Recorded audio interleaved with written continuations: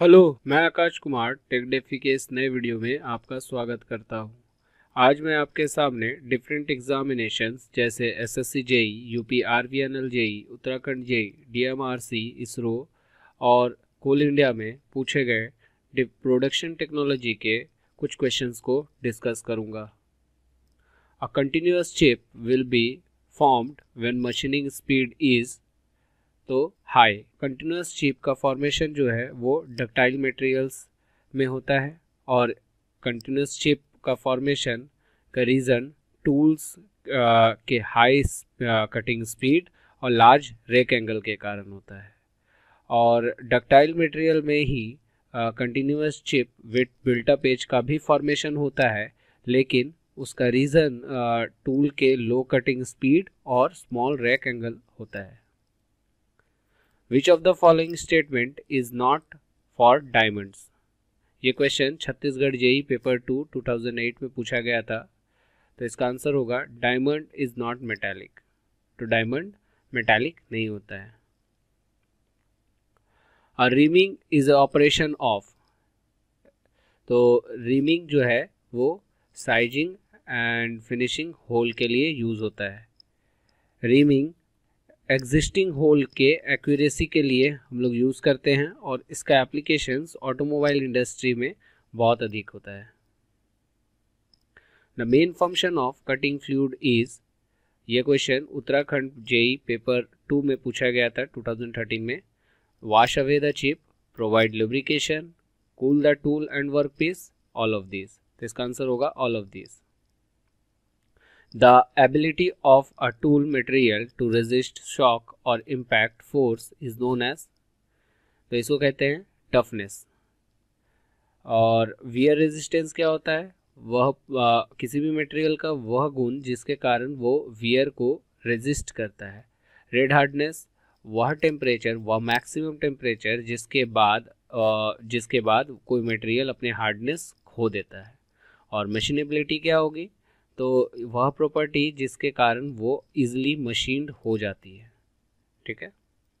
A cold working is a process of deforming a metal plastically यह question Uttarakhand JE paper one 2008 में पूछा गया था। तो cold working process of deformation of metal plastically कब होगा? तो बिलो रिक्रिस्टलाइजेशन टेम्परेचर अब रिक्रिस्टलाइजेशन टेम्परेचर क्या होता है? वह टेम्परेचर जिसके अंदर मतलब जिसके जिसके ऊपर कोई भी मटेरियल के ग्रेन के साइज़ में हम लोग डिफॉर्मेशन ला सकते हैं।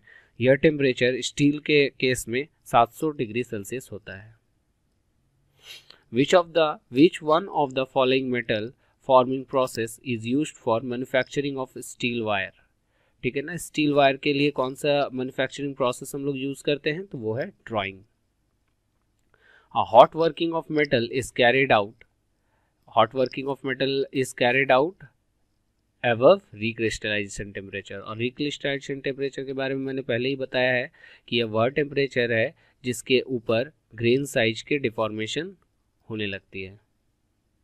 A selection of appropriate alternative cutting fluid is तो हम लोग इसका अप्रोप्रिएट सिलेक्शन क्यों करना ज़रूरी है? To reduce heat generation to wash away the chip from metal to reduce energy consumption all of these the forging of the metal uh, the forging of steel specimen is normally done at a temperature of 1100 degrees celsius the following is not the characteristic of explosive forming ठीक है ना यह question Uttarakhand JE paper two 2008 में पूछा गया था तो tool material is very expensive तो इसमें टूल मटेरियल जो होता है, वो बहुत एक्सपेंसिव होता है।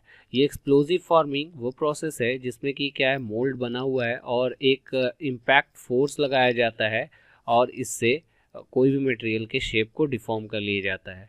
देखिए बिफोर डिस्चार्ज इस मटेरियल का शेप इस तरह का है और आफ्टर डिस्चार्ज ये इस तरह का बन गया। In a blanking the angle of shear is provided on तो ब्लैंकिंग ऑपरेशन में जो एंगल ऑफ़ शेयर होता है, वो किस पे दिया जाता है? तो वो डाई में दिया जाता है। ये इसका फिगर इसमें मेटेरियल ये एक शीट है जिसमें कि पंच से कर कर ब्लैंकिंग ऑपरेशन को परफॉर्म किया जा रहा है। Which one of the which is the statement about electro discharge machining mechanism? ठीक है ना? इलेक्ट्रो डिस्चार्ज मैकेनिज्म में क्या हो गया? The section to be machine should be thick ठीक है ना? तो ये स्टेटमेंट जो है section to be machine should भी थिक होना चाहिए, ठीक है ना? और इलेक्ट्रो डिस्चार्ज मशीनिंग के लिए जो डायलैक्ट्रिक हम लोग यूज़ करते हैं, वो है कैरोसिन और इसके जो बीच का जो गैप होता है, वो होता है zero point zero two to zero point five m m ultrasonic machining is best suited for तो अल्ट्रासोनिक मशीनिंग हम लोग ब्रिटल मटेरियल के लिए करते हैं।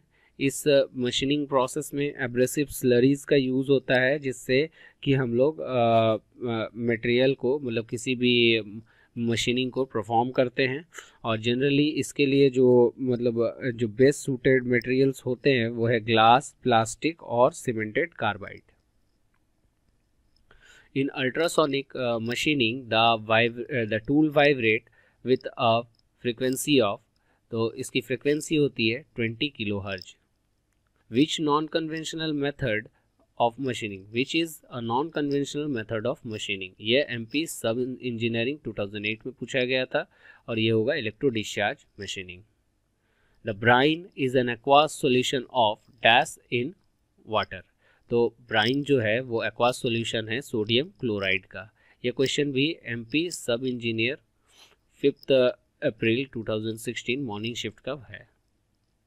और डाइलेक्ट्रिक आर तो डाइलेक्ट्रिक क्या होता है? इंसुलेटिंग मटेरियल्स होता है। ये तीन तरह के होते हैं सॉलिड डाइलेक्ट्रिक लिक्विड डाइलेक्ट्रिक और गैस डाइलेक्ट्रिक सॉलिड डाइलेक्ट्रिक का मोस्ट कॉमनली यूज़ होता है कहाँ पे? इंजीनियरिंग इलेक्ट्रिकल इंजीनियरिंग में और इसके एग्जांपल्स होते हैं प्रोक्लेन ग्लास रबर और माइका और लिक्विड डाइलेक्ट्रिक जो बेसिक तीन तरह के होते हैं, ये है इंक्लूड्स करते मतलब इट इंक्लूड्स क्या क्या है? तो mineral insulating oil synthetic insulating oil और मिसलेनियस इंसुलेटिंग ऑयल और इसके एग्जांपल्स क्या क्या है? तो transformer oil cable oil vegetable oil और सिलिकॉन लिक्विड ठीक है ना? गैसेस डाइलेक्ट्रिक अब इसमें इसके एग्जांपल्स भी देख लेते हैं हम लोग तो एयर हो जाएगा हाइड्रोजन हो जाएगा नाइट्रोजन हीलियम और propane the material commonly use for making machine tool bed is तो हो जाएगा कास्ट आयरन अब कास्ट आयरन के कुछ कॉम्पोजिशन को हम लोग देख लेते हैं। All the cast iron contain more than two percent carbon cast iron is an alloy of carbon with 1.7 to 4.5 percent carbon and 0.5 to 3 percent silicon but in some alloy, it has a magnesium 0.5 to 1 percent, phosphorus 0.1 to 0.9 percent, and sulfur 0.07 to zero point one zero percent ठीक है a universal dividing head is use to perform a milling operation by किसके द्वारा होता है? तो हो गया compound indexing ये है कंपाउंड इंडेक्सिंग का पूरा मतलब ये फिगर है। इसी तरह से ये परफॉर्म होता है। और कंपाउंड इंडेक्सिंग जो है वह पाँच तरीके से किया जाता है। जैसे सिंपल और प्लेन इंडेक्सिंग डायरेक्ट और rapid indexing compound indexing differential indexing और angular indexing in a grinding operation for grinding harder material तो ग्राइंड हार्डर मटेरियल को ग्राइंड करने के लिए हम लोग फाइन ग्रेन का यूज़ करते हैं। और सॉफ्टवेयर मटेरियल को ग्राइंड करने के लिए हम लोग कोर्स ग्रेन का यूज़ करते हैं। In which of the following operation on lathe will be spindle speed भी मिनिमम। तो कौन सा ऐसा ऑपरेशन है लेथ में जिसमें कि स्पिंडल स्पीड मिनिमम होता है? तो ये है थ्रेड कटिंग। अब थ्रेड कटिंग के बारे में कुछ जानते हैं। Thread cutting is a helical shape groove formed on a cylindrical surface of work piece ठीक है ना? Thread cutting is an operation perform on a lathe to produce thread by using a tool whose size will be same as that of the thread ठीक है ना? उसका size जो है तो वो थ्रेड के साइज़ के बराबर होता है। Which of the following machine does not require quick return mechanism अब कौन से मशीन है जिसमें क्विक रिटर्न मैकेनिज्म का मतलब यूज़ नहीं होता है? तो वो स्लॉटर में हम लोग करते हैं प्लेनर में करते हैं शेपर में। स्लॉटर में कम यूज़ होता है प्लेनर और शेपर में तो यूज़ होता ही है ब्रोचिंग में बिल्कुल भी यूज़ नहीं होता है। अब ब्रोचिंग क्या है? और इसके क्या प्रिंसिपल्स है, उसको देख लेते हैं। When the broaching is feed in a straight line metal is cut in a several successive layer with the help of broach. The thickness of each layer is same and called as feed per tooth, and the sum of the thickness of all the layer is called a depth of cut इसके figure को देख सकते हैं। Broaching holder लगा हुआ है workpiece है, और ये ब्रोच कर रहा है। The push type broach is use for machining an external surface a pull type broach is use for machining an internal surface ठीक है ना? पुश टाइप का यूज़ हम लोग एक्सटर्नल सर्फेस के लिए करते हैं और पुल टाइप इंटरनल सर्फेस के लिए। The the planer machine is which is which three surface can be machine at a time planer machine में कौन से तीन सरफेस को एक साथ मशीन किया जा सकता है? किस मतलब किस प्लेनर से? तो वो गया double house planer double house planer जो है most commonly type of planer है.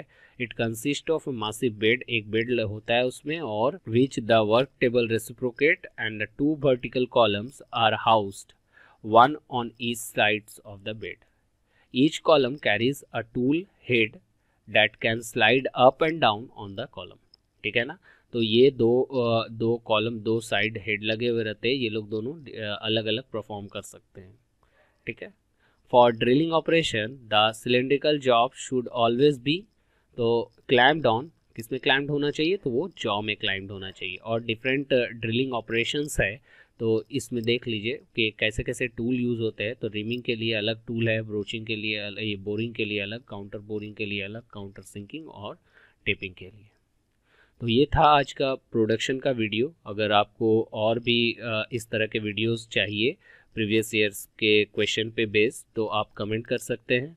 और लाइक कीजिए अगर आपको ये वीडियो पसंद आया तो। Thank you